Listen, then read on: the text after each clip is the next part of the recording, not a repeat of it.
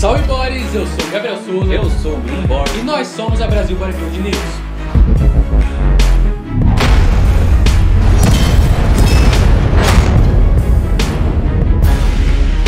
Fala aí rapaziada, como é que vocês estão? Eu espero de coração que todos vocês estejam bem e meus amigos, estamos começando mais um vídeo no canal. Brian Ansley mostra shape atual e continua a preparação para o Olympia e Nick Walker posta atualizações impressionantes rumo ao Arnold de Ohio. O público fica impressionado com a atualização de Paulo Musi e todos querem ver o doutor nos palcos esse ano. Veremos também neste vídeo um pouco aí do que rolou nos confrontos Open das prévias do Chicago Pro, com destaque a Hunter Labrada e Holly Winkler. Sebum posta vídeo fazendo agachamento com 120 kg de cada lado no Smith e impressiona a cena. Tudo isso e muito mais no vídeo de hoje, então já vai deixando aquele like que sempre ajuda muito na divulgação, se inscrevendo no canal, ativando o sininho e bora começar. E amigos, bora começar este vídeo falando sobre o Muse. No vídeo de hoje mais cedo aqui no canal, nós abordamos com vocês essa atualização que o Renato Cariani postou do Paulo Muse lá no Instagram dele. E depois daquilo, nós mesmos fizemos um post em nosso Instagram perguntando a opinião da galera. E rapaziada, faz tempo que eu não via quase que 100% dos comentários elogiando o físico de alguém. E a grande maioria do público está comentando muito que quer ver o Paulo Muse nos palcos. Inclusive, o Renato Cariani comentou em nosso post o seguinte: Musina Classic, quem apoia? E o comentário dele até a gravação deste vídeo já passou de mil curtidas. É, meus amigos, será que no final do projeto 60 dias do Muse vai rolar uma proposta para ele competir? Bora ficar de olho. Falando em competição, já vamos emendar o papo falando sobre o Chicago Pro.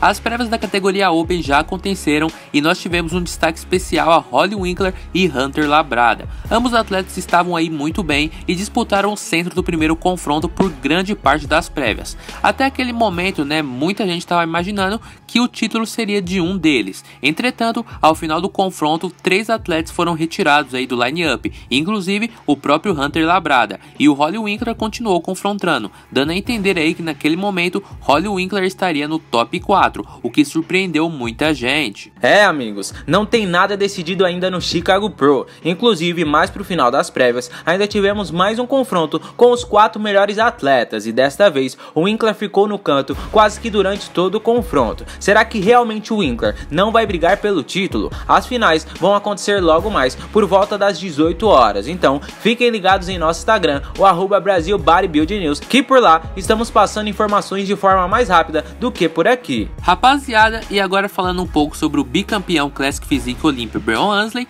o cara aí mostrou seu shape recentemente nas redes sociais e mostrou aí que tá com uma condição bem interessante. O Breon é aquela história, né, meus amigos? Esse duplo bíceps de frente dele é algo muito poderoso e é uma das poses mais da hora do atleta. Parece que o Breon vem progredindo bem nessa preparação aí para o Olímpia, ele que ficou com o top 3 no ano passado e quer em 2021 voltar a brigar pelo título da Classic com seu maior rival Chris Bumstead, que é o atual bicampeão consecutivo do show. Falando no Sebum, hoje mais cedo, o atleta postou em suas redes sociais um vídeo do seu leg day. Meus amigos, peguem esse agachamento no Smith do Sebum com mais de 240 quilos. Temos ali 6 anilhas de 20 quilos ou mais de cada lado, ou seja, aproximadamente 120 quilos de cada lado. E como de costume, o Sebum fez um movimento muito, mas muito completo, mesmo com esta carga altíssima. O cara treina muito bem. Na sequência, ele deixa alguns vídeos da continuação do seu treino, onde faz passadas, depois leg press unilateral e a cadeira extensora. Na legenda do post, ele fala um pouco melhor sobre a questão de repetições. Então, se pintou o interesse, depois confiram por lá. Inclusive, alguns dias atrás, o Sebum relembrou aí seu físico da preparação para o último Olímpia e comentou na legenda, abre aspas,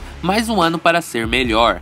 Meus amigos, esse físico aí de 2020 do Sebum já era muito, mas muito bom. E muita gente da cena aí vem comentando que se ele trazer um conjunto igual ao ano passado, ele já seria o grande favorito disparado no campeonato deste ano. E o cara está prometendo trazer uma versão ainda melhor. Mas e aí, amigos? O que vocês acham do Sebum e quantos anos vocês acham aí que ele pode se manter no topo da Classic? Já comentem aí. Amigos, ainda sobre o cenário internacional e sobre atletas da categoria Open, o jovem mutante Nick Walker postou algumas atualizações, faltando 9 semanas para o Arnold Classic Ohio. Esse mast muscular do Nick realmente me impressiona, e o cara nos próximos anos, mantendo esse ritmo de evolução, vai chegar com tudo nos próximos Mr. Olympias. Mas e aí, o que vocês acham do shape do Nick e o que vocês acham que ele poderá conquistar no esporte daqui pra frente. Comentem aí. Amigos, e para finalizar o vídeo de hoje, vamos dar uma passada no cenário nacional novamente, falando sobre essa foto do Men's Physique profissional Heitor Galvão,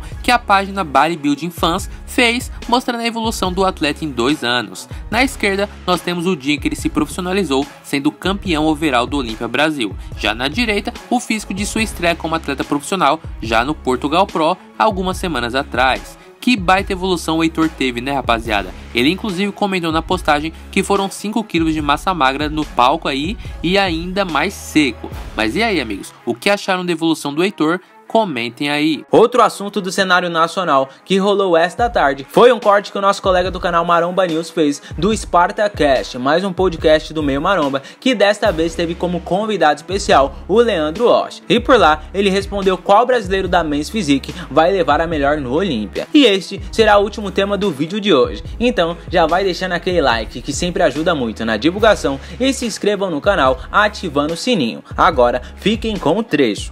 Kaique Diogo e Felipe, o melhor dos três no Olímpia. Quem vai ser o melhor? Kaique, você ainda acha que você ainda vai no Kaique? É, não, o Kaique com certeza. É, eu acho que o, eu tive com o Diogo aqui em Londrina faz uma semana. Ele teve aqui, treinou aqui. Caralho, eu fiquei totalmente desfocado aqui nessa porra. Aqui tá de boa, vai que vai. É, eu, eu assisti a competição que ele venceu, Porto Rico Pro, onde ele se classificou, né, pro Olímpia. E depois ele voltou para casa, fez um treino aqui, que ele mora na cidade aqui perto, Maringá. Meu, ele tá muito impressionante. Ele já teve aqui em casa, ou na, em casa, na, minha academia outras vezes. Tá muito impressionante. Ele tá com, ele tá muito largo e ele tá com a cinta muito fechada. É, o Felipe Franco evoluiu, evoluiu, sim, é inegável. Mas o Diogo também evoluiu. Eu digo isso considerando a última vez que os dois se enfrentaram e o Diogo venceu, que foi aqui no Brasil. Né? depois eles acabaram não se enfrentando mais. O Franco, eu não, nem sei se competiu mais, não tenho certeza. Acho que competiu no México, mas agora eu não tenho certeza. É...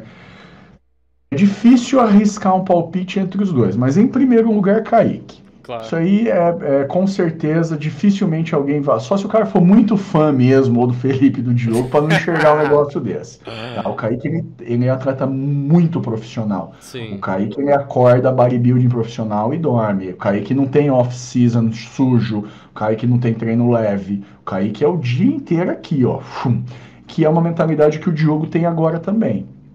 O Felipe tem né, uma série de outras coisas que nem a gente já, já discutiu e falou, mas parece que está